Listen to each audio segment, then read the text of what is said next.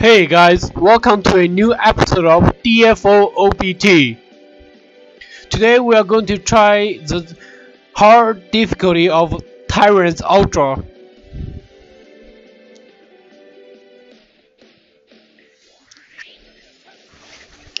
Okay, as you can see, there is a full logo mm, of boss over there in the right up corner for the dungeon map.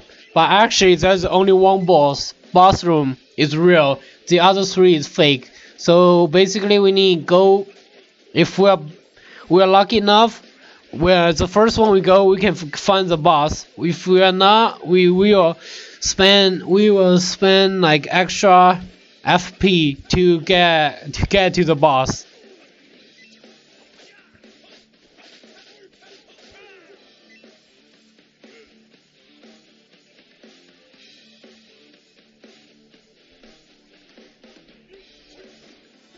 Okay, one thing to watch out is the stone that is flying. If you stay right underneath the stone, you will like, they will drop off and hit you. But don't worry, like it takes some time to to get you, and you can look at the shadow, too.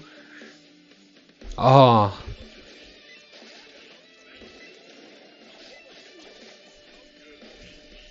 I hate this bad boy. Oh, that big guy, I hate him so much. But that's always like easy way. I think I explained how to pick him up in the Spider Kingdom. Um, and basically all you do is when he's hit, hitting the ground with his big stick, you go behind him and beat him up. Yup. Look that. How easy because he's gonna hit the ground three times no matter what. I usually go to the right because it can connect two boss room. The other two, if you go up or down, you only connect to one boss room. So you go here, it's like a higher probability is going to on this side. It's like a half chance.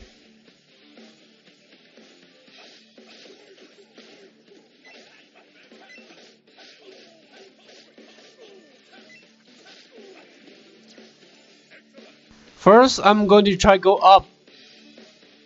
Okay, this is not the right one. I can tell because the real boss room look come, come look really different. But anyway, we're gonna finish this room and we're gonna go to the other room. Go try the other rooms too. Uh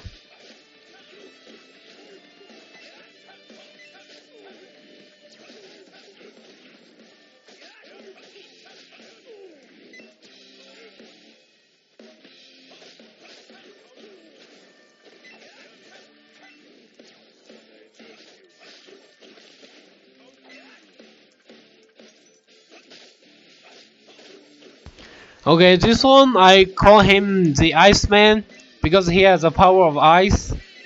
And uh, after you, after you hit, kill him, you'll get like increase of attacking speed and moving speed. Look at me, moving so fast. And now we're going to try the room downstairs. Okay, this one is not the one either because I know, uh, again, I know how the boss room, the boss room look like.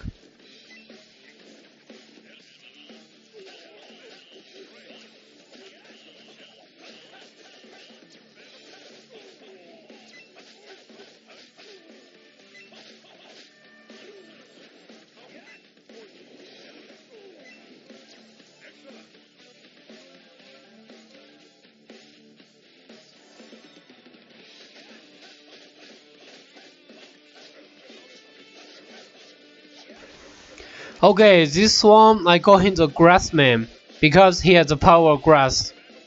And since he have really low HP and uh, um, defense, I finish him before he used his power. Oh.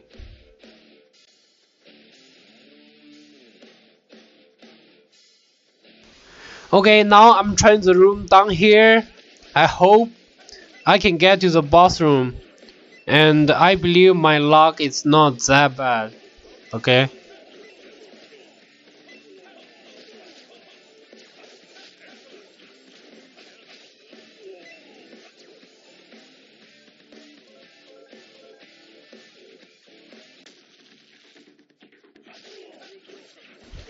Okay, great. Um, we are in the boss room here. As you can see, the ground is broken and you can see the lava under the ground. So here is clearly the boss room.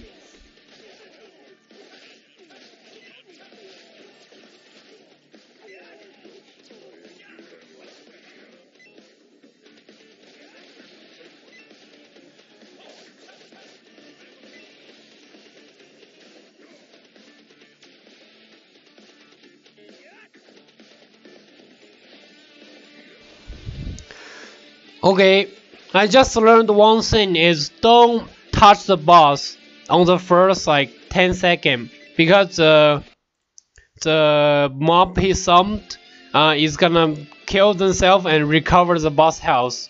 Okay, when the boss is doing this, you need to jump. Okay, I didn't jump on the right time. Okay, when you see this boss is doing something like looks really dangerous, you need to jump. And you need to jump on the right time, okay?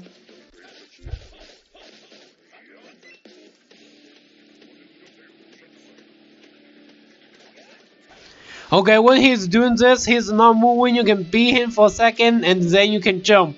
See, I I did it. I, I jumped on the right time.